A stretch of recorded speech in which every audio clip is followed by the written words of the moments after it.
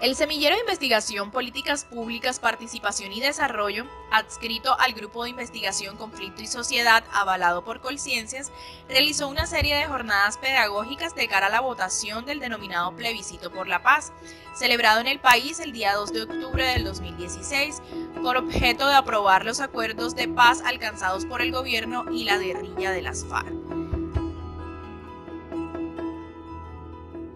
Dichas jornadas tuvieron lugar en diversas instituciones de educación superior de la ciudad, tales como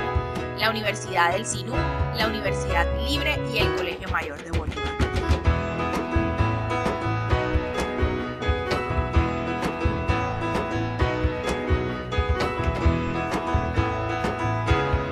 En ellas se expusieron el contenido de los acuerdos alcanzados por las partes del conflicto, enfatizando en los puntos más relevantes, con el objeto de empoderar a los asistentes del contenido necesario sobre los acuerdos que les permitiera ejercer su derecho al voto de manera segura e informada.